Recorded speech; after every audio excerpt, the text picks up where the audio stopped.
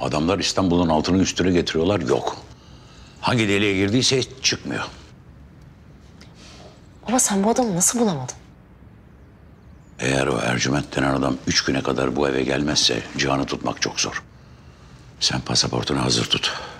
Gerekli ayarlamaları yaptım yurt dışına çıkacaksın. Ben kocamı bırakıp hiçbir yere gitmiyorum. O Ercüment'i bulacağız. Başka seçeneğimiz yok.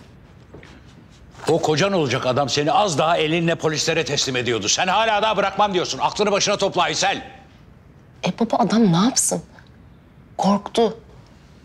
Kardeşini öldüreceğini duyunca delirdi. Yoksa Can hayatta öyle bir şey yapmaz. Hem sen demedin mi? Ortada seni suçlayacak bir delil bırakmadık diye. O videoyu ne yapacağız? Ya kopyaları varsa? Ercüment'i bulacağız. Yerini öğreneceğiz ve hepsini yok edeceğiz. Biz işimizi o şerefsize bırakmayalım. Evin her tarafını delik delik ara ve o videoyu bul.